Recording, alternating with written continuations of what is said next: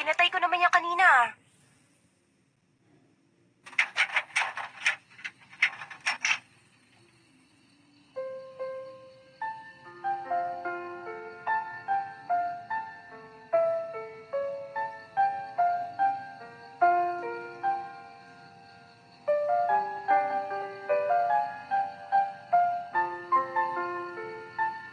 Si Asa, di ba? Ganyan ang meteor necklace na binigay niya. Wala siyang kwenta. Hindi.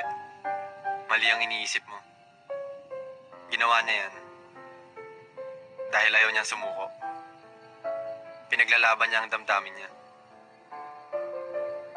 Alam mo ba? Yung sinabi kong tiyaga, kaya asi ko pala makikita. Basta wala siyang kwenta.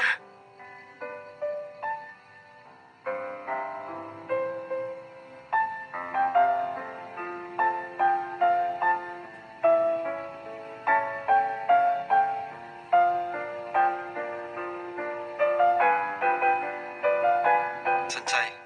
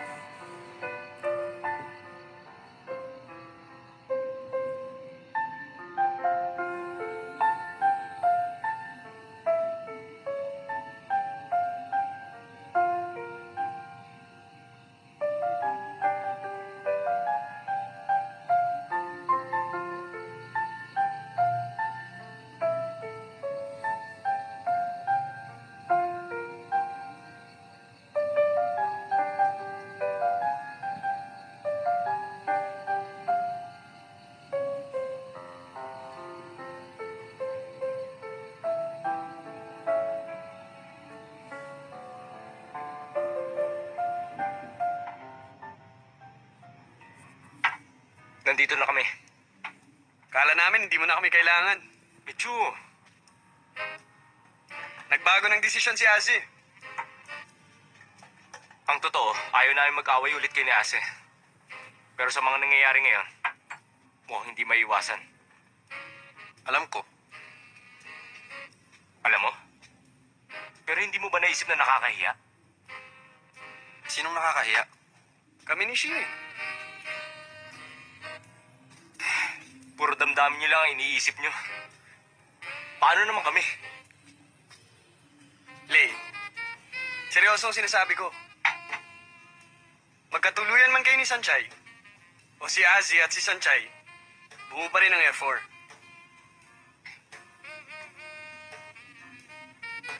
Ang pag-ibig may expiration date. Maniwala ka sa akin.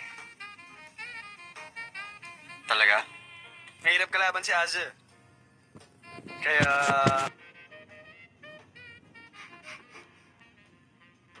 Ano nakakatawa? May naaalala ako. Anong nakakatawa? Hindi ko alam paano sasabihin. Sabihin mo na, seryoso pinag-uusapan dito. Hoy, Master Wachele. Magpaliwanag ka nga na maayos.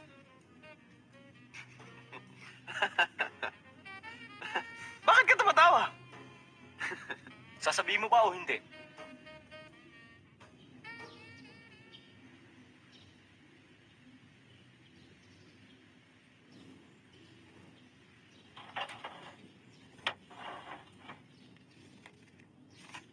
Kanino kaya galing to?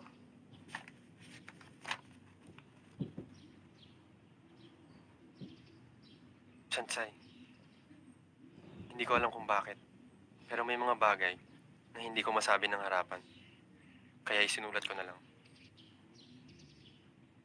Dahil sa mga maling desisyon, nahaharap sa malaking krisis ang kumpanya ng papa ko. Kinakailangan kong pumunta sa Japan para tulungan siya sa kaso tungkol sa international funds. Palagay ko, panahon na para tumulong ako sa papa ko. Kahit na lagi kong sinasabi na wala akong pakialam sa ibang tao. Ngayong paalis na ako, naisip ko, may mga bagay na mahirap iwan dito.